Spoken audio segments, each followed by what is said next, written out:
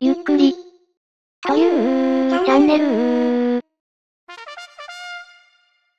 皆さんこんにちは。今回はプレイヤーの中で、気づいた人の中で、そこそこ物議を醸してる内容。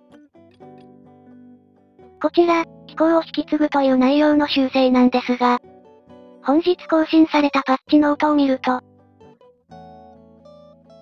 はい、なんと、こちらの修正は2.8で適用。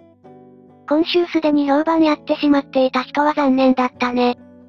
という感じの追記をされました。確かに、アプデまで待つべきだったという声もありそうですが、正直紛らわしい文章を掲載しておいて当日に、急に追記って、ちょっと、感じ悪いですね。それくらい。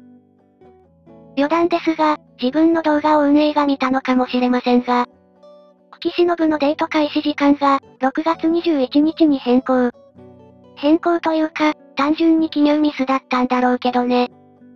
ということで、前者についてはどう思いましたか？コメントしてねじゃあの。